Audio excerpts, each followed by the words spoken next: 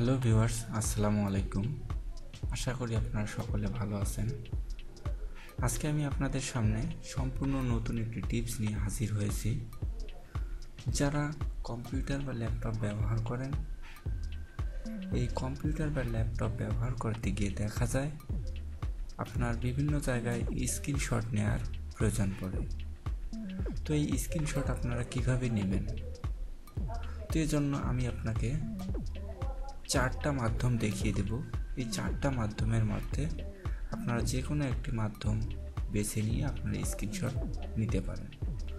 তো ভিউয়ার্স আপনি যদি আমার চ্যানেলে নতুন হয়ে থাকেন, তো অবশ্যই চ্যানেলটি সাবস্ক্রাইব করে পাশে আসা বেল আইকনটিতে অল করে দিবেন। তো চলুন আর দেরি না করে ভিডিওটি শুরু করা যাক।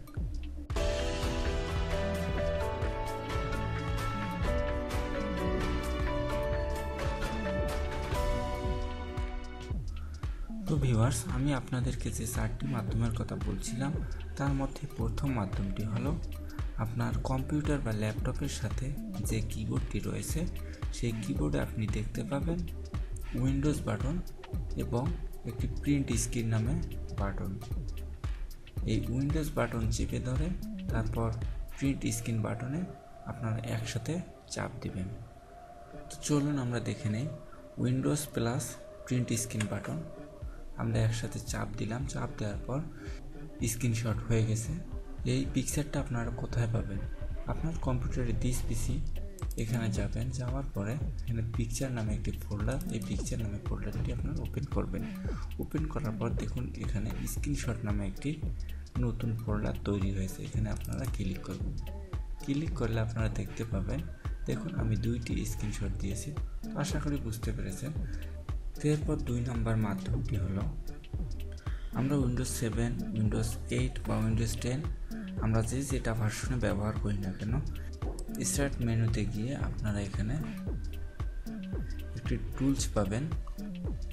দেখুন টুলসটির নাম হলো স্নিপিং টুলস এই টুলসটি আপনারা খুঁজে বাইর করবেন অথবা স্টার্ট মেনুতে এসে এখানে সার্চ করলে আপনারা পেয়ে যাবেন। S N I double P I N G snipping tools দেখুন চলে আসছে। এরপর আপনারা এখানে ক্লিক করে ওপেন করবেন। ওপেন করার পর দেখুন, এখানে চলে আসছে।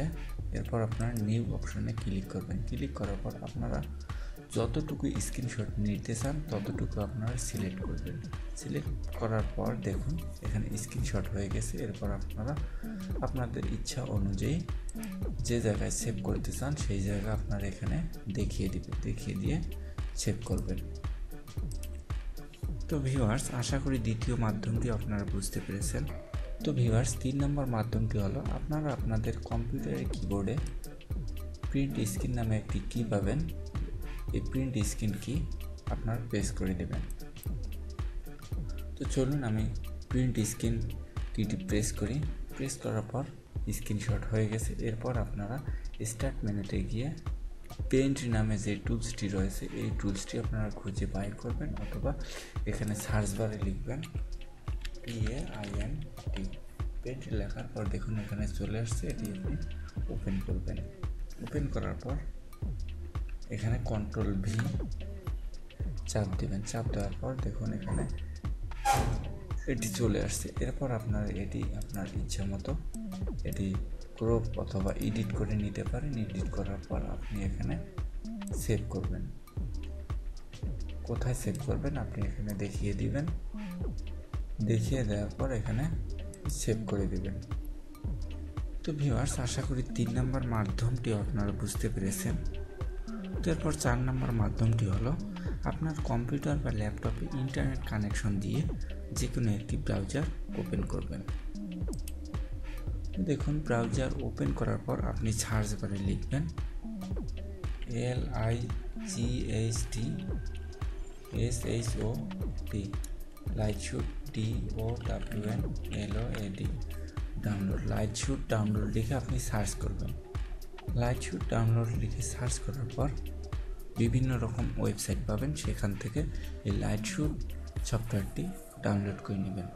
এই সফটওয়্যারটি ফাইল সাইজ মাত্র two point six five MB সফটওয়্যারটি আমি আমার ভিডিও ডিসক্রিপশনে দিয়ে দেব, সেখান থেকে আপনারা ডাউনলোড করে নিতে পারবেন।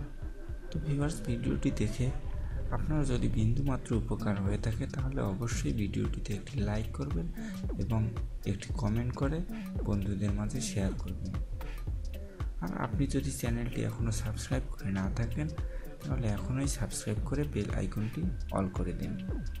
আর ভিডিওটি সম্পর্কে কোনো জানার থাকলে অবশ্যই কমেন্ট করবেন। আমি আপনাদের কমেন্টে রিপ্লাই দেওয়ার চেষ্টা করব। তো দেখা হবে পরবর্তী কোনো ভিডিওতে। ভালো থাকেন, সুস্থ থাকেন। আল্লাহ হাফেজ।